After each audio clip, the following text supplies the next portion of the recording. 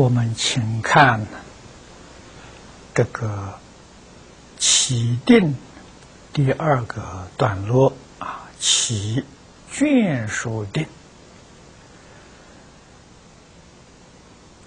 经文有十句，第一句是总说啊，一起一切起，我们读过了。现在看后面九句，是清凉大师的课题呀，别变。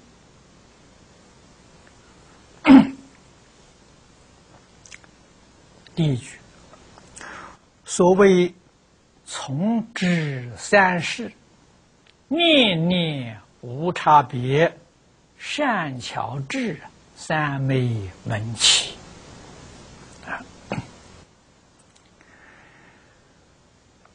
往下九句，每一句都最后啊，都是三昧门起啊，有这四个字，才显示出一起一切起，才显示无量的智慧德能。都是以这个三昧为体啊，那么由此可知普贤三昧的重要啊！你要不能修得普贤三昧，华严的境界，你就完全没有份。顶多呢，啊，听听而已，啊，像听讲故事一样，啊，一丝毫的受用，你都得不到。你要真正想得到的受用啊，那你不能不懂普贤三昧。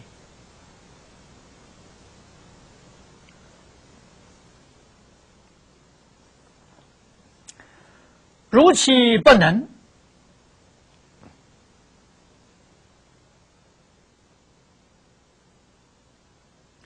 至少啊，也得像彭继清居士一样，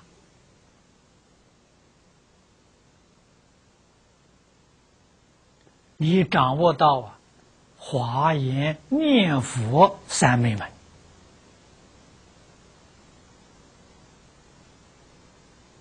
彭继清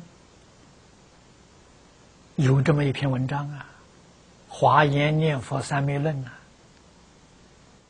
啊，近代黄念祖老居士有讲记，啊，这个讲记啊，也从录音里面呢写成小册子了。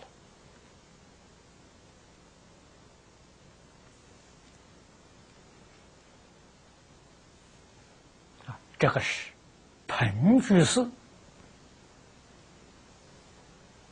他在华严里面所得到的真实受用啊！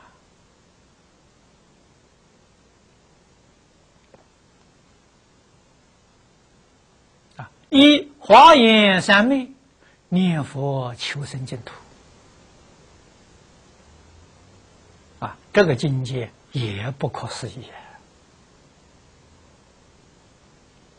无愧于一代大善之士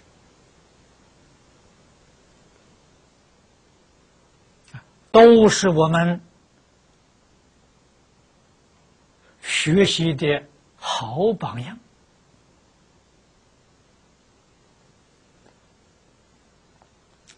这九句里面第一句，清凉大师在注解里面说。第一，即是能知智三昧，知是智慧。你怎么知道你有智慧呢？啊，你能知智慧呀，这一类的三昧。下面跟我们解释，为无一念占差了，所以说念念无差。啊，三世是过去、现在、未来，啊，念念无差别。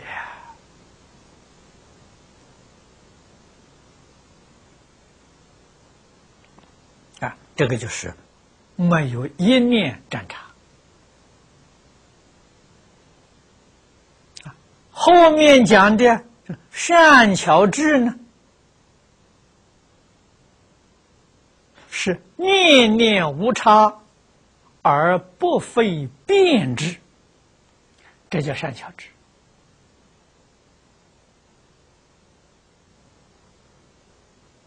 这个是圆满的厚德智启用啊！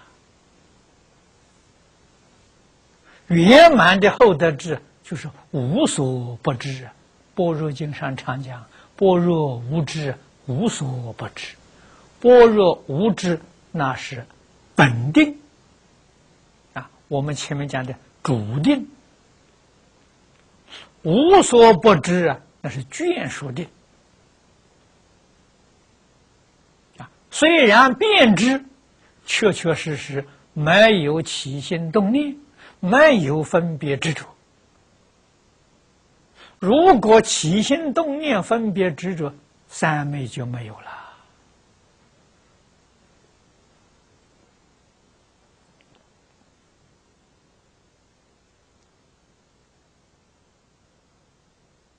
啊世间人也确实有相当的智慧啊，也有相当的能力啊！啊，你看今天科学家种种的发明，那不能不说是智慧呀。这种智慧在佛法里面称之为视之变聪，为什么呢？它里面没有三昧。如果里面有普贤三昧，我们就能想象得到，所有一切发明决定是利益众生的，决定不可能产生副作用的。啊，今天科学技技术固然有一点便利，但是那个副作用太大。副作用真正明显的威胁到一切众生生死存亡啊！这什么原因呢？智慧里头没有普贤三昧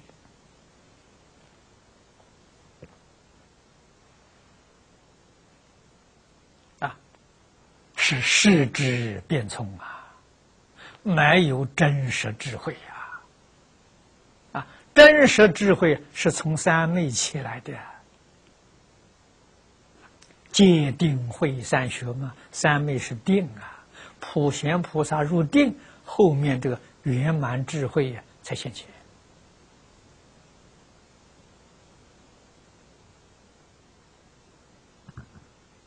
经上这个意思非常明显啊。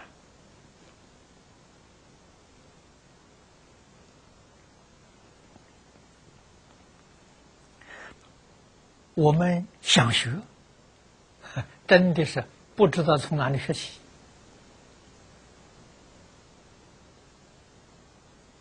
啊！但是也不能不说说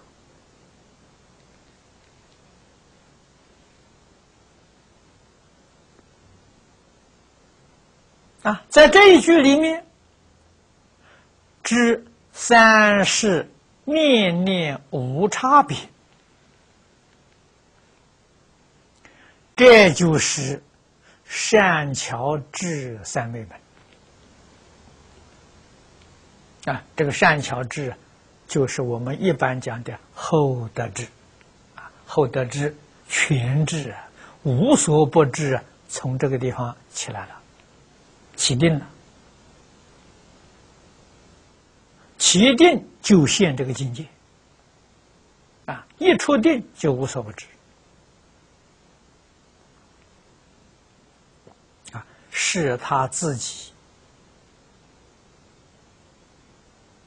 平素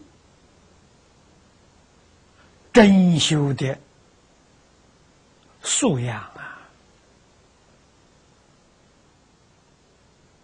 以这个。修养的条件，感得十方诸佛的加持，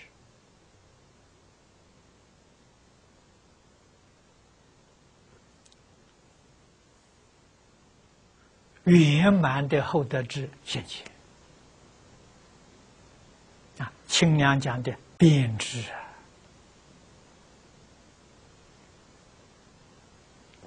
啊！那么这一句里头最重要的。就是知三世念念无差别，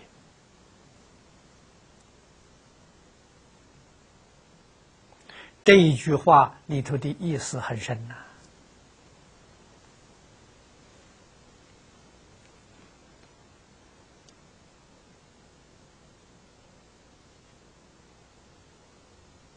金刚经》上也说了。《啊金刚经》怎么说的？一切有为法，如梦幻泡影，如露亦如电。《金刚经》上讲“亦如电”，这个地方讲的三世念念无差别。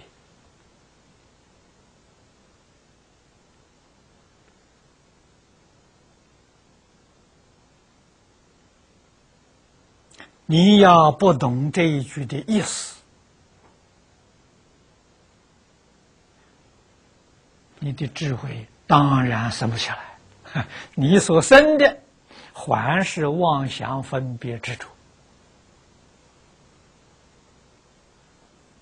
啊，依旧是用你的意识心来学华严呐。啊，啊你没有立心意识啊！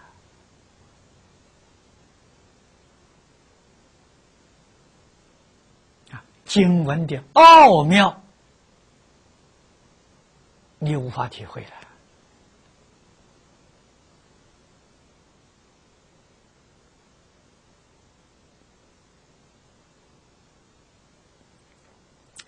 再看第二句。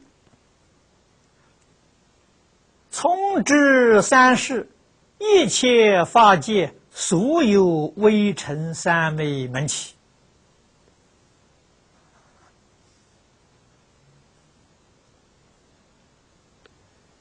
前面一句能知，这一句所知。清凉讲呢，这叫能所一对。实实在在不容易啊！三世一切法界所有微尘，《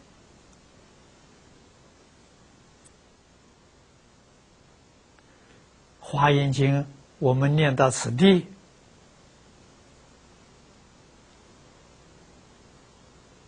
也不算少了。没有看到经上讲恒河沙数，啊，没有看到。讲这个数量大了，世界还未成熟，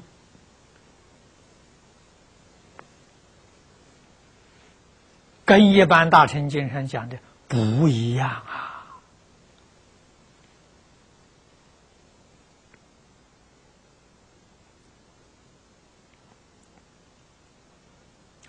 这一部经，释迦牟尼佛说了，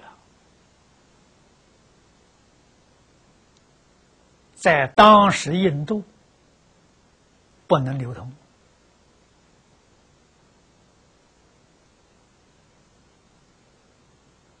一直到佛灭度之后六百年，龙树菩萨出现了。这一部经的时候，流通的因缘才成熟。啊，你要问为什么呢？我们现在读这个经文了解了，小根性的人不能接受啊！啊，前面这个讲经开始的时候，啊，讲这一部经的当机者发生大事啊。凡夫里面有没有呢？有，啊，有一类叫大型凡夫，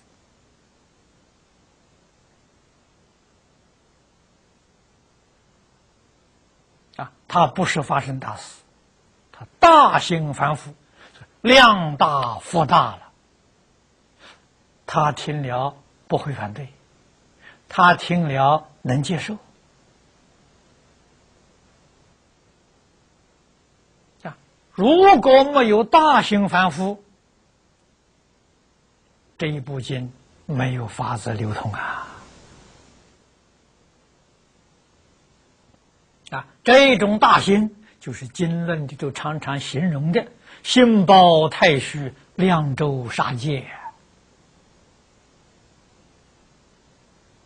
啊，有这样的大心，一展卷呢，自自然然呢。心心相印啊！啊，所以心量小，不能学这个法门。啊，这个法门一开口，世界还未成熟。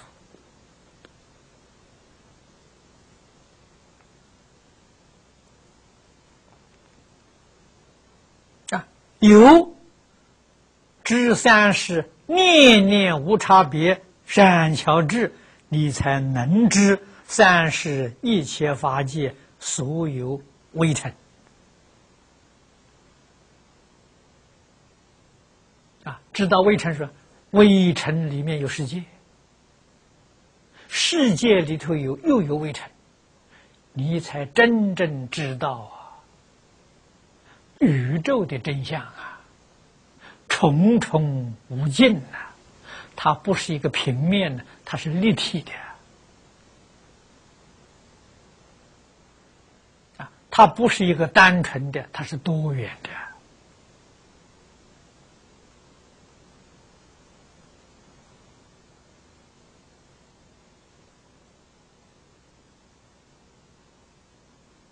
啊，自信的本体的用。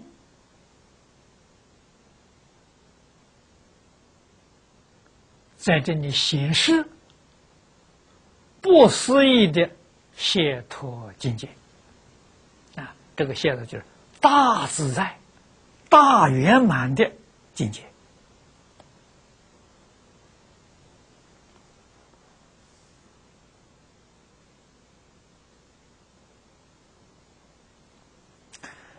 再看底下这一句。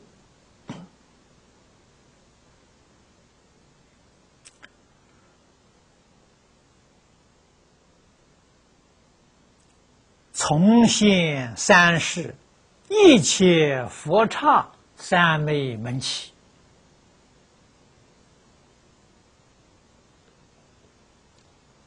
清凉在这里告诉我们：现广刹，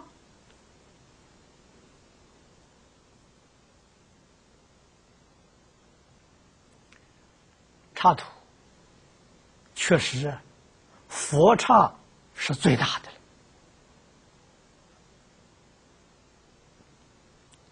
这个是世间人无法想象的。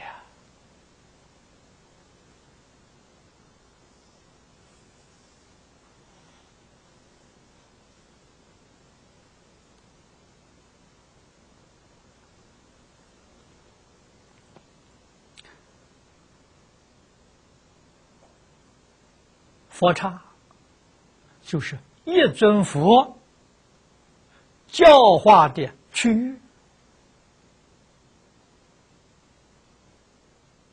大乘经上常讲的三千大千世界。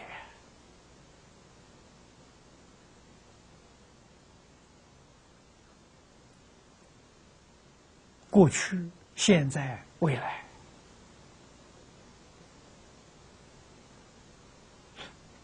一切佛刹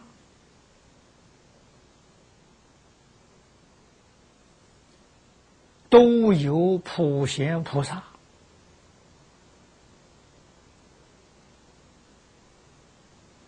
在诸佛面前入定。华藏世界这一位普贤菩萨出定了，他们也通通都出定了。啊，一起一切起，起就是出啊，啊，一个出定了，通通都出定了。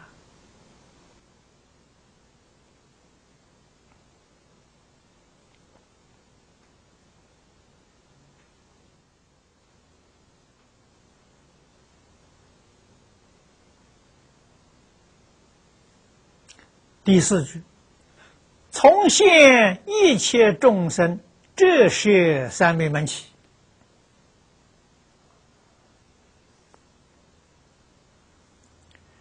这是先居处啊。清凉大师说，跟上面一句合起来，这是世界总别一对啊。世界是总。你看，众生的住处，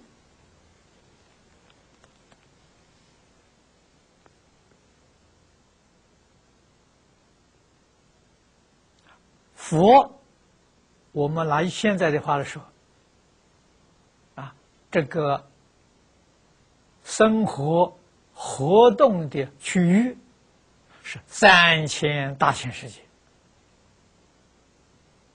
啊，一般众生呢？活动的区域是他居住的所在呀，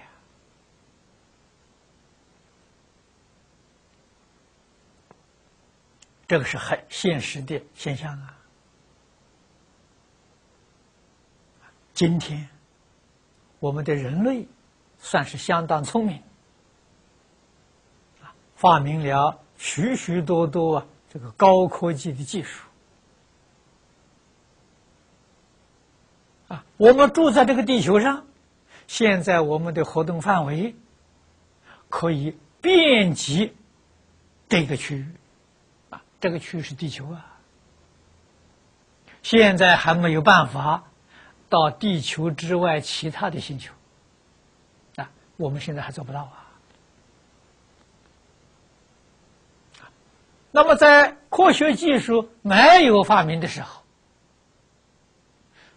生活活动范围很小啊，啊，确确实实啊，这古人常讲的，呃，老死不相往来，真的，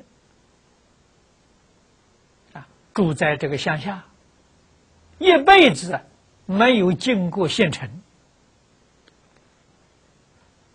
他的活动范围呀，就是他居住啊那几个村庄。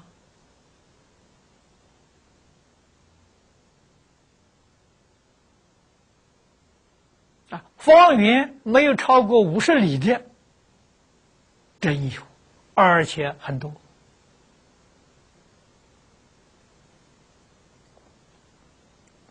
那是他的哲学。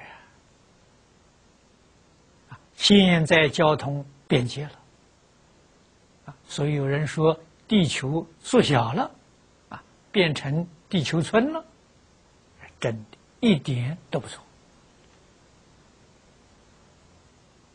既然变成地球村，村民的关系就非常密切了。这个事情来得很突然，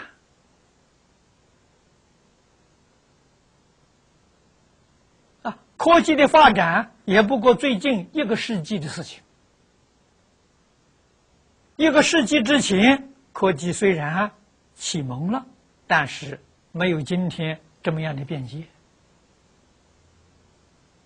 啊！一百年前，轮船比帆船啊进步多了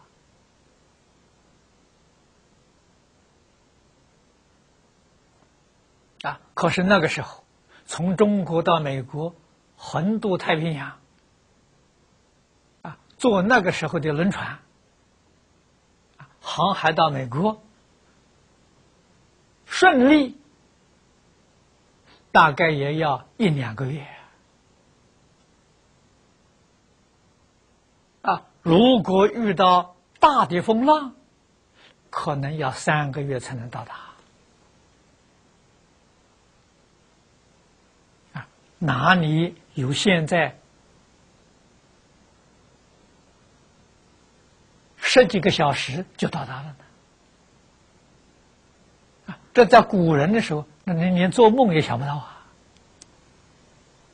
现在人能做到了。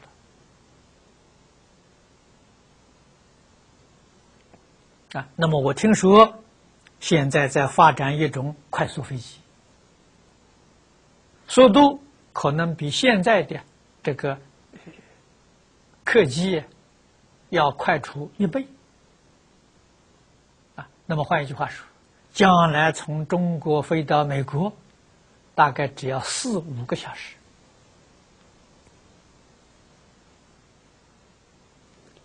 发展的太快呀。地球上的居民啊，观念上转不过来呀，转不过来，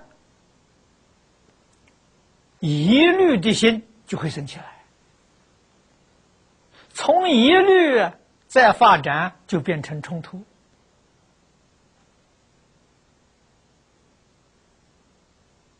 啊，就变成摩擦，麻烦就来了啊。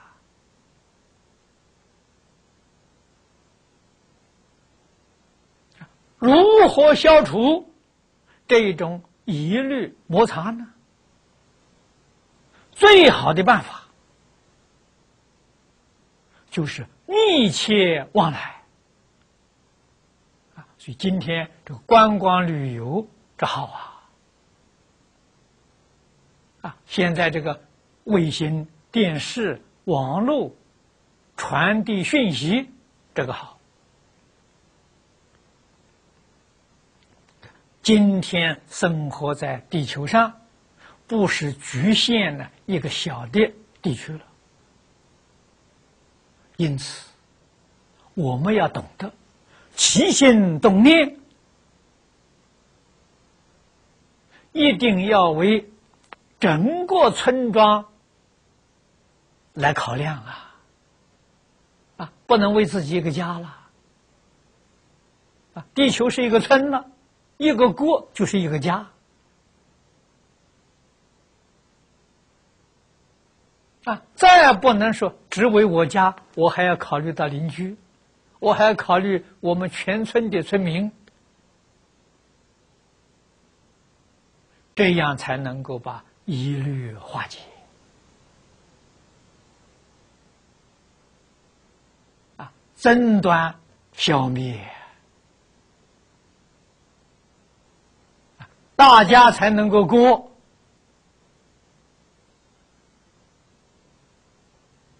和平、幸福、繁荣、互助合作、美满的生活。这个要靠教育啊！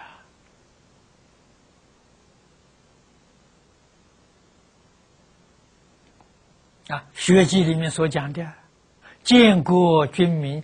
教学为先呐！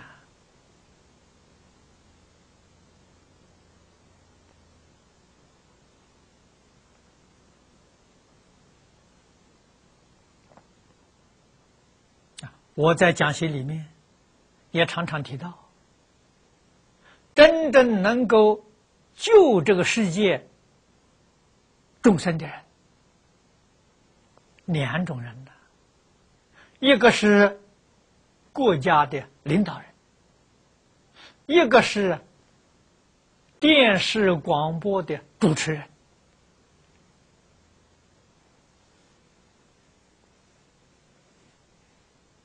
这两种人有能力挽救世界，也有能力毁灭世界，都在他一念之间。啊，为什么呢？缘操纵在他手上。我们佛法讲缘呢，世间人讲说权，大权操在他手上。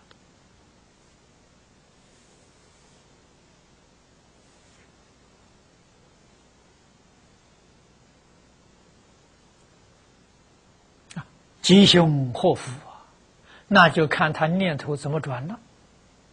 他的念头要转成念念呢，为整个地球村着想，天下太平啊，人民幸福。如果念念为自己家里着想，不考量到别人。灾祸临头了，啊，当然要起冲突，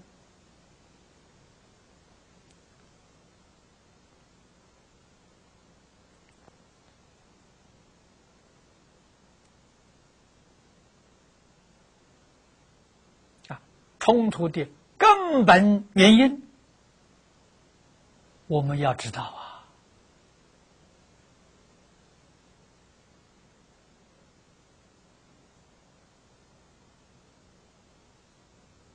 我曾经也说过很多遍了，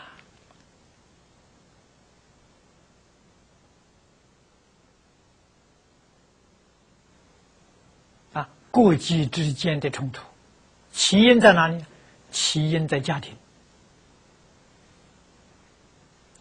夫妻冲突，父子冲突，兄弟冲突。族人冲突，再发展到社会的冲突，啊，国家的冲突，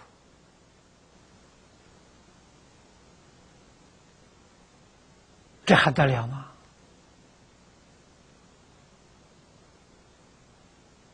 这是从形级上来看，如果更深入一层的观察。冲突的起因、根源在哪里呢？根源在自己真正的根就是自己本性与习性的冲突，这才是根源呐！啊，《三字经》上头一句：“人之初，性本善。”呐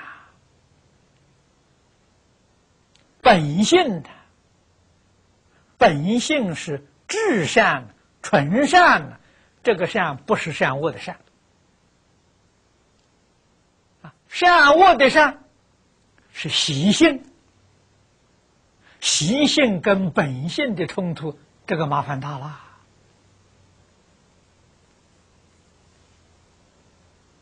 所以，儒跟佛知道这个病根啊。孔老夫子跟释迦牟尼佛啊，就像一个高明的大夫一样啊，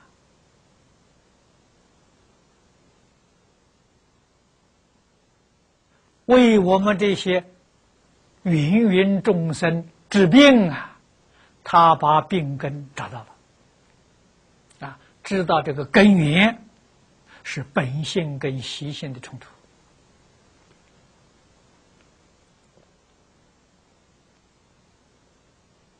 所以他们教导的这个方方法，是从诚意正心修身，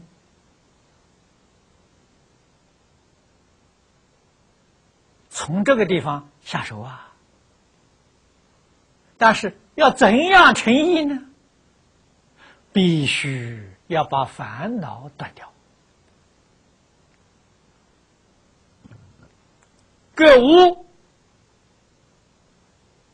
是断烦恼障啊，知之是断所智障啊！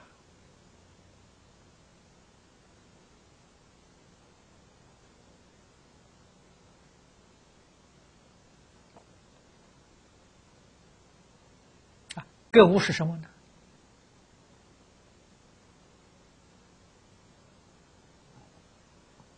物是物欲。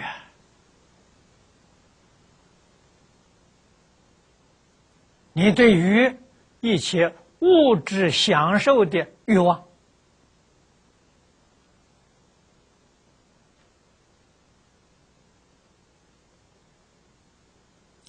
你要懂得控制，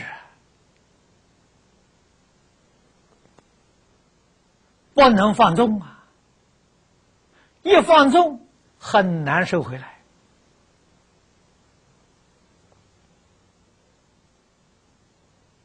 所以，自私自利、名闻利养、无欲六尘、贪嗔痴慢，你要能断啊！你要有能力控制住啊，不让它泛滥呐！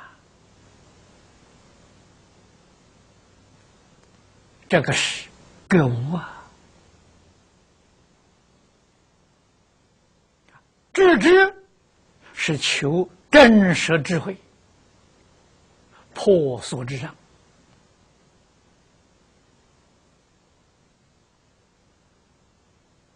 啊，换一句话说，智智里面，他的教学的内容，对于宇宙人生真相，你要明了啊。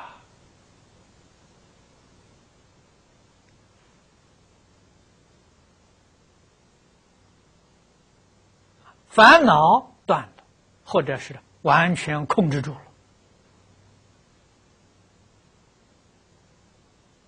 智慧现前了，你的意才成，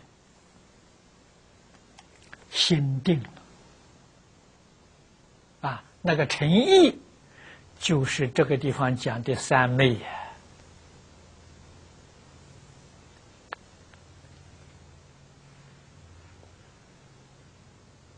诚意达到极处，就是普贤三昧嘛。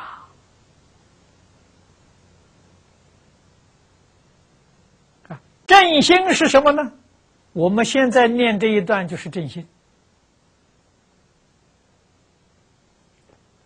正心是诚意的其用。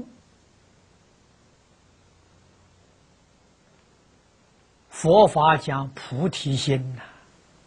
菩提心有体有用，啊，体是什么呢？佛在经上讲至诚心，你看看跟孔老夫子讲的诚意是一样的嘛？啊，儒讲正心，佛法里面讲菩提心的自受用身心，他受用大悲心。身心跟大悲心呢？儒家讲一个正心呐，啊，自受用，好德好善，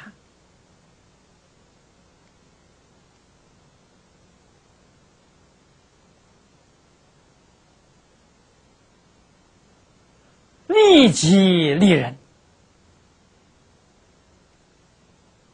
啊，这是正心啊。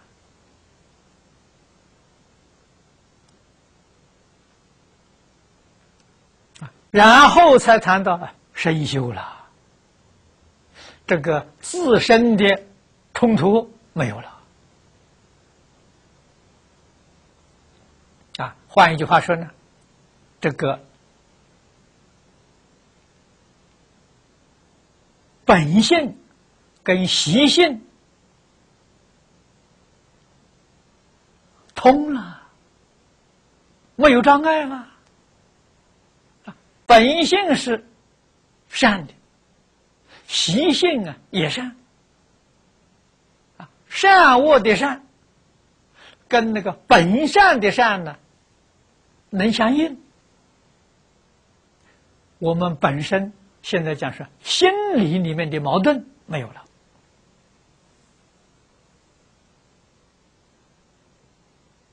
身心安乐。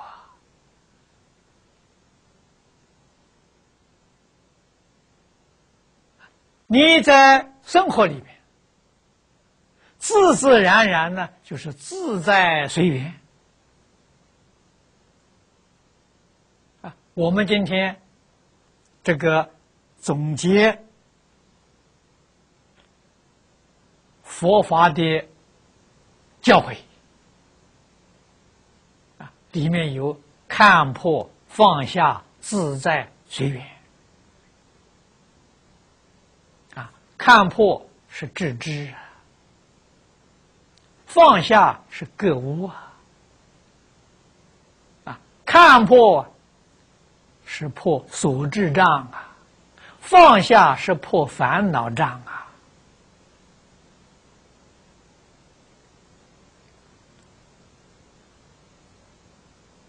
啊，果然落实了，怎么会不自在呢？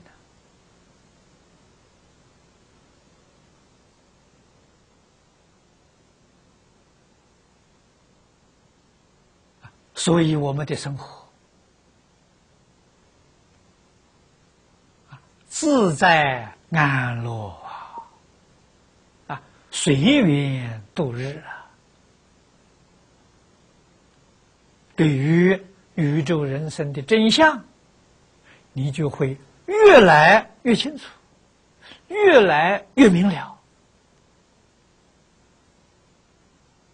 啊，越清楚。越明了，你就越自在，你越快乐，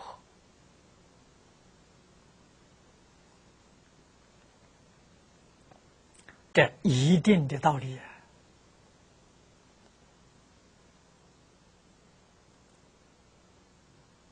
如同诸佛菩萨，从来没有为自己想过。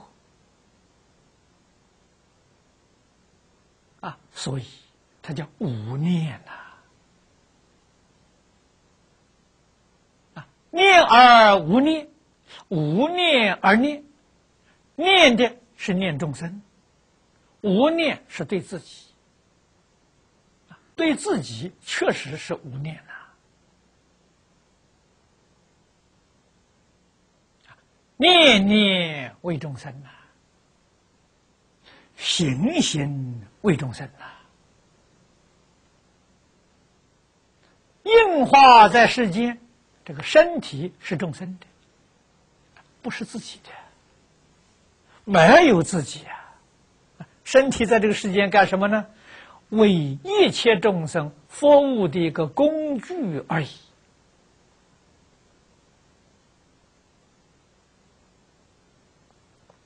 这个工具。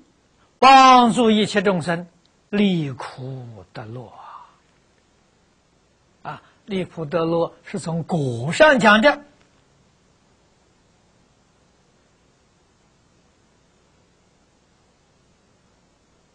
做呢一定要从因上下手因是要帮助一切众生破迷开悟。那就是要教学啊，教化众生呐！啊，我们看儒看佛，都是现在人所讲的多元文化的社会教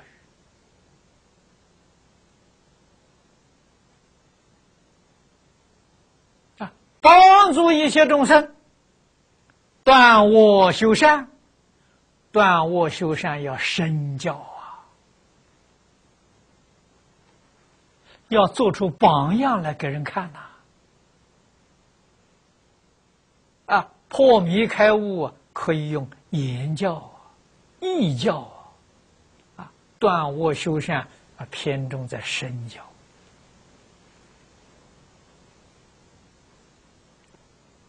啊。那么这三种教学。就是三种加持啊。我们念前面念这段文啊，设方三世一切祝福啊，身家、口家、意家。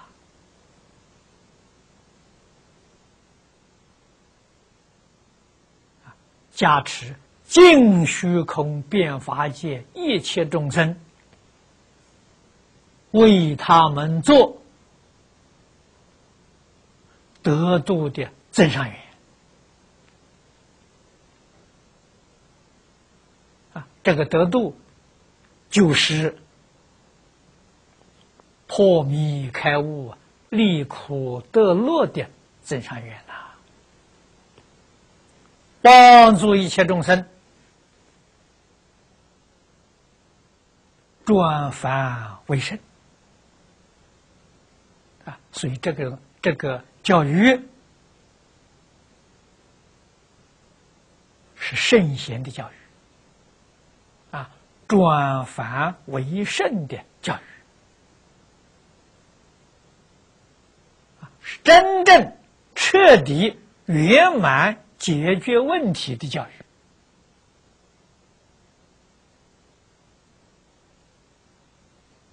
觉者，啊，我们说觉者。大家容易体会，诸佛如来是觉者，孔老夫子、孟夫子也是觉者。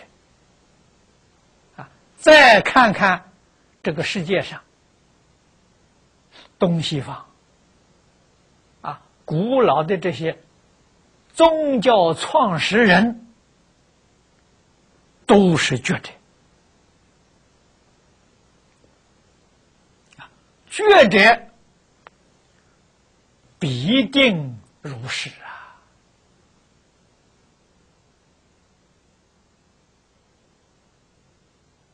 啊，一定是从事于多元文化转凡成圣的教育。他一生搞这个东西啊，这个里头有大乐在啊！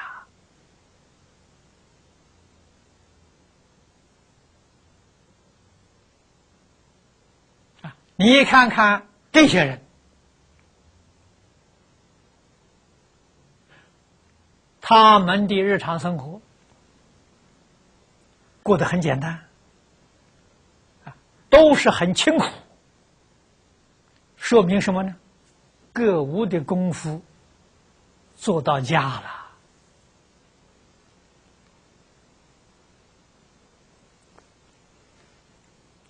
决定了。不会受外面这些五欲六尘的诱惑啊，财色名食睡，在他面前，他已经如如不动了，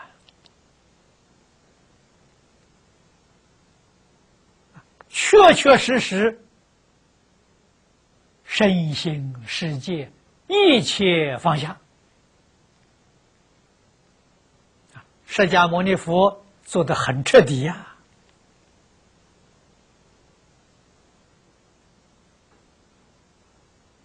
啊，得大自在呀！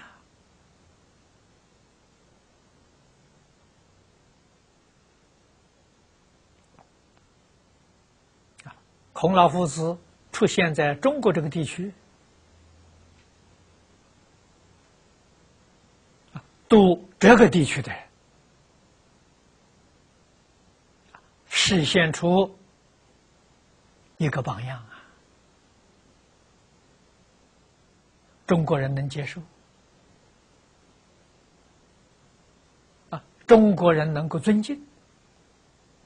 释迦牟尼佛是现在印度那个环境啊，所显示的一切，印度人欢喜，印度人能接受。如果两个对调一下，啊，孔子到印度去，释迦牟尼佛到中国来，都不会被接受。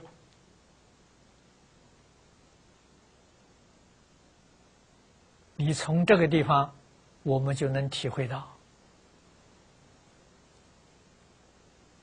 佛法里头讲的，应以什么身得度，现什么身？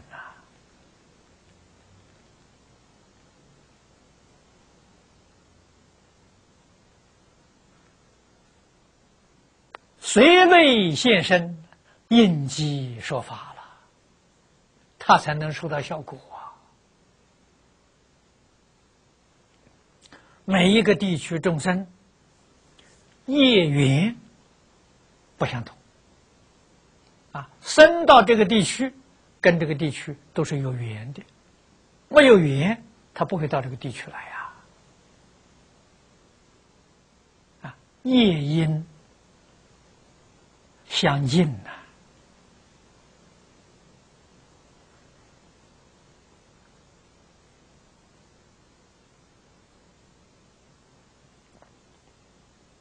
啊，现在许许多多人还参不透这个道理，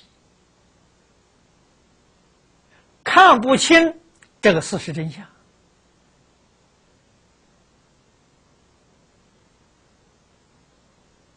现在必须要说明了，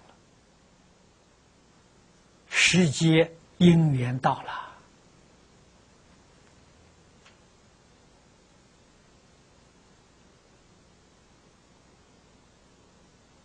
啊！许许多多的宗教的信徒坚持真神只有一个。都以为自己的宗教是真的，自己宗教所奉的神明是唯一的真神。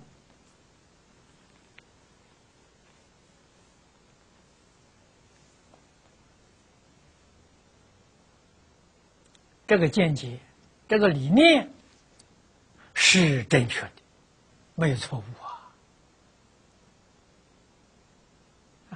别的宗教，他们所崇奉的神明，是不是真神呢？你想想，是不是你崇奉这个这个真神的化身呢？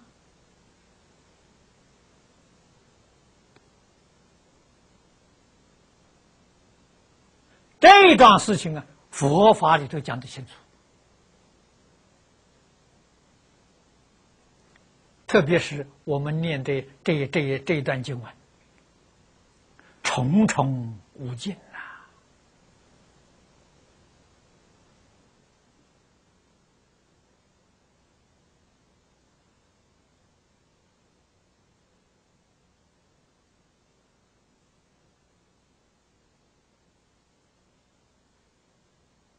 观世音菩萨三十二应里面讲。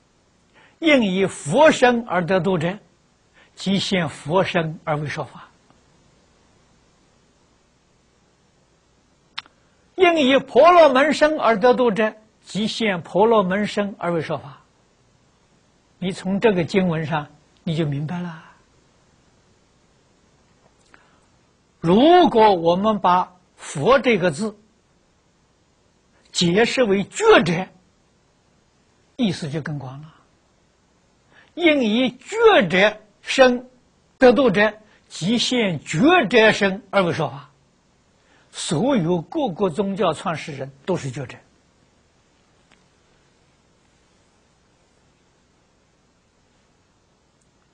你把这个搞清楚之后啊，啊，原来所有宗教是一家人呐，所有宗教所奉崇奉的神明是一个真神。不同的化身呐，啊，这个真神在佛法里面讲是什么呢？真如本性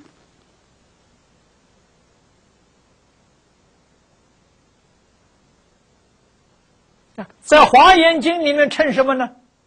毗卢遮那如来啊，毗卢遮那意思是是遍一切处。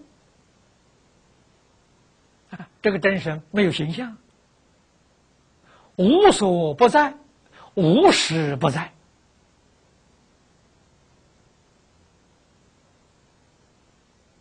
啊他跟十方三世一样大没得没有形象啊能现一切现象。假如大家都有这个认知宗教里面所有冲突没有了化解了，啊，才知道宗教全是一家人。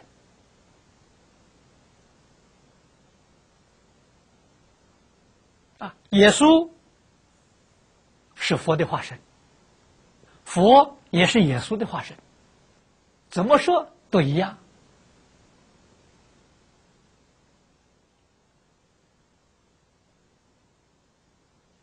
一切众生呐，